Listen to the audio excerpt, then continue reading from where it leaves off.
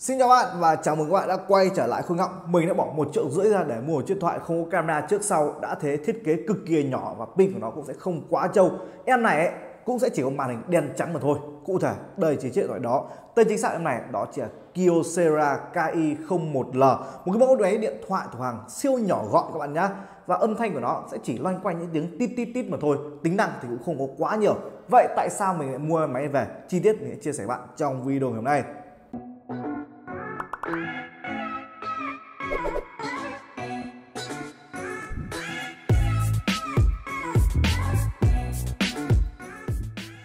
Và rõ ràng với mức giá có tầm 1,5 triệu đồng các bạn hoàn toàn có thể mua cái em smartphone màn hình màu ví dụ như Xperia Z1 này. Sau đó là những em chạy con chip Snapdragon 845 cũng có luôn. Con này ấy, cấu hình của nó cũng hạn chế và tính năng của nó cũng sẽ hạn chế luôn các bạn ạ. Em này thì không phải là một cái mẫu máy mới nha. Nó đã ra mắt từ năm 2018 rồi. Và thời điểm ra mắt ấy, mức giá em này sẽ hơn 6 triệu nhưng mà đến thời điểm hiện tại hàng mua cũ nhá, mình vẫn mua mức giá đó chỉ là 1 triệu rưỡi. Và thiết kế em này cực kỳ đơn giản luôn nhá. Điểm mạnh của nó đó chỉ là mỏng gọn nhẹ và các bạn thể nhét vừa vào ví luôn. Em này ấy, nó sẽ chỉ nặng 47 g mà thôi. Kích thước ngang là một chiếc thẻ ngân hàng. Và ở đây ấy, em này nhá, độ dày của nó cũng sẽ chỉ là 5,3 mm mà thôi. Một trong những mẫu smartphone thuộc hàng mỏng nhất thế giới luôn các bạn ạ. Dĩ nhiên với cái độ mỏng như này ấy, thì nó không thể nào nhồi nhét những yếu tố như rắc 3.5 mm vào được và chúng ta sẽ sử dụng cổng sạc đó chỉ là micro USB. Ở đây ấy, thì bạn cũng sẽ có thêm một cái móc để bạn có thể móc vào chúng ta treo nhiều một cái thẻ vậy. Và với em này nha các bạn sẽ có màn hình y inch ở đây Cụ thể là cái màn hình mực như kiểu một cái máy đọc sách vậy. Kích thước của nó sẽ chỉ là 2,8 inch mà thôi. Và đây sẽ là một thiết bị hoàn hảo dành cho những bạn nào muốn cai nghiện smartphone. Bởi vì ngay đến phần đó chỉ là màn hình cũng như là tính năng của nó ấy, cực kỳ đơn giản luôn. Chúng ta sẽ chỉ có những thao tác chính ở đây gồm có đó chính là nghe gọi này.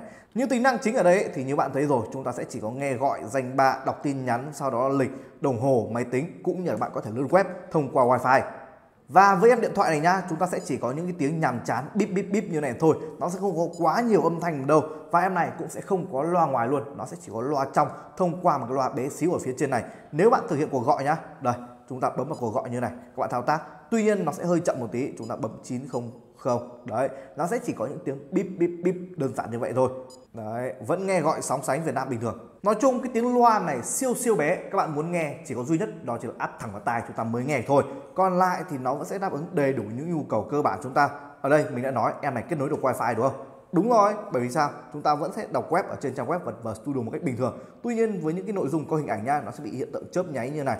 Đấy, cái này các bạn bắt buộc phải chấp nhận luôn bởi vì đây là một đặc trưng của cái màn hình e-ink rồi các bạn ạ. Khi mà chúng ta đọc sách ấy, chữ nó bình thường thì xem ok không sao. Nhưng mà khi bạn gặp những hình ảnh động, những cái video ấy thì nó sẽ chớp nháy liên tục, nhìn tương đối khó chịu. Nói chung trong những trường hợp cần thiết nha, các bạn vẫn sẽ đọc sách cũng như là lướt web được. Nhưng với cái việc đó là ứng dụng hạn chế như này các bạn không thể là cài thêm bất kỳ một cái gì app ở bên ngoài nhá. Em này thì các bạn vẫn sẽ có những cái cụ thể đây. Chúng ta có cái USB debugging để bạn có thể dễ dàng chúng ta cài bên ngoài. Nhưng thực tế mình không khuyên các bạn bởi vì sao? Bộ nhớ em này chúng ta sẽ chỉ có 8 GB bộ trong mà thôi các bạn sẽ có 8 GB bộ trong cũng như là việc chúng ta có 1 GB RAM nhé và con chip của nó sẽ là Snapdragon 210 một chip cũng rất là cổ rồi. À một điều nữa đó chị em này bán mặc định thị trường Nhật. Thế nên chúng ta sẽ không có tiếng Việt các bạn ạ. Ở đây thì máy mình nhận được ấy nó sẽ chỉ có ngôn ngữ đó chính là tiếng Trung cũng như là tiếng Anh mà thôi. Ở đây ấy, thì các bạn sẽ có phiên bản đó chính là Docomo nhé đá con mèo.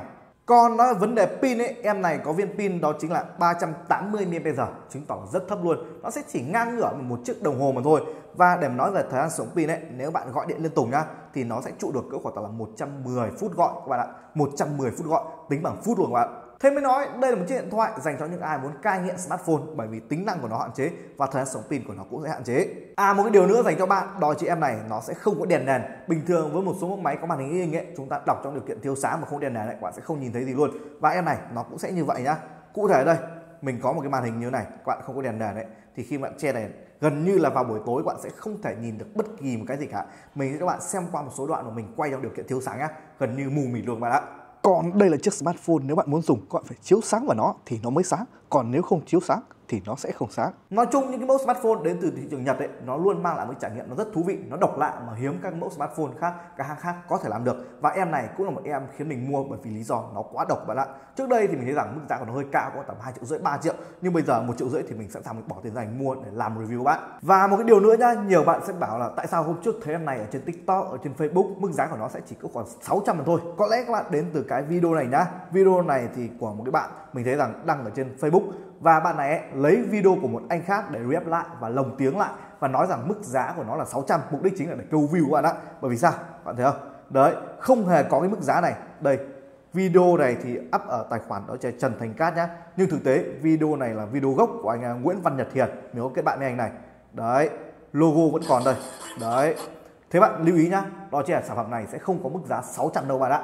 Hoàn toàn không có cái mức giá này và đây có lẽ là một cái sản phẩm hoàn hảo dành cho những bạn nào mà chúng ta muốn cai nghiện smartphone bằng một chiếc smartphone khác nhá. Bởi vì em này thực tế mà nói chúng ta vẫn sẽ có một cái màn hình cảm ứng với những tính năng cơ bản đây, các bạn vẫn sẽ lướt web được luôn. Và đây có thể coi là một chiếc điện thoại thủ hàng nhỏ gọn nhất từ trước nay mà mình từng sở hữu, cũng như là việc lần đầu trải nghiệm cái em điện thoại màn hình của nó y như này, cảm giác khá thú vị. Tuy nhiên nếu để sử dụng thực tế, dĩ nhiên mình sẽ không sử dụng em máy rồi. Và cá nhân mình ấy thì cũng sẽ chỉ mua em này về với nhu cầu đó chỉ là làm video bạn xem mà thôi. Cũng có hạn chế như kiểu là không có đèn nền chẳng hạn. Các bạn, các bạn nghĩ sao về em điện thoại Kyocera này thì hãy để lại bên dưới nhá. Và nếu bạn nào sẵn sàng, chúng ta đã quyết định cai nghiện smartphone bằng một chiếc smartphone dạng tối giản như này ấy, thì hãy comment xuống bên dưới. Và link mình cũng sẽ để bên dưới phần mô tả bạn dễ dàng mua và sở hữu em nó nhá. Qua các sàn thương mại điện tử như Shopee ha chi tiết các bạn có thể tham khảo được link bên dưới. Còn bây giờ xin chào và hẹn gặp lại. Trong các video sau. Nhấn like và subscribe kênh không ngạo nhá. Bye.